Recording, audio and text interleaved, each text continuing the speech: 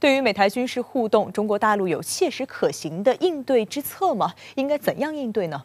对于美台的军事互动，现在呢还是处在说说的阶段。那么中国大陆呢已经是发出了比较强硬的信号。那么早在六月底啊，这个美国参议院军事委员会审议通过这个包含有这个美台军舰互听内容的国防授权法案的时候呢，中国驻美大使呢就严厉批评这种做法是严重损害中方利益。那么中方呢坚决反对。其危害性之大呢，可以用破坏性来形容。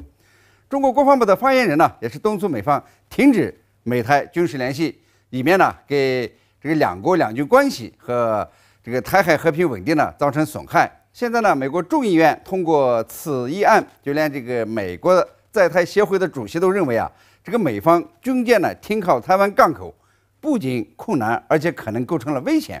那么为什么呢？因为解放军呢必然这个强力行动。因为呢，这撼动了一个中国的政策。前两天呢，解放军的航母呀穿越台湾海峡，官方媒体呢播出了这个舰载机起飞降落的画面，哎，是那么的流畅，那么的娴熟。那么其军事威慑的目的呢，也是一目了然。之后呢，又是战略轰炸机的飞行，所以我认为啊，这个美军和台湾当局呢是不敢进行这个军舰互停的。这不错呀，美国呢想用各种手段呢来制约中国的崛起。但是呢，采取行动前呢，他也得评估呀，中国的军事反制能力，得考虑中国政府呀维护主权的决心和解放军的血性。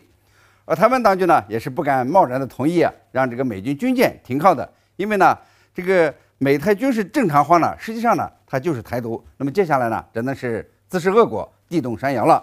当然呢，这是大事，我相信美国和台湾呢都不会也不敢走到这一步。嗯，当然呢，我还是觉得呀，更重要的是要利用外交手段和经济手段呢，尽早为美台军事走走近呢，哎，解毒，不能不能让它成为这个影响中美关系和两岸关系的一个毒药。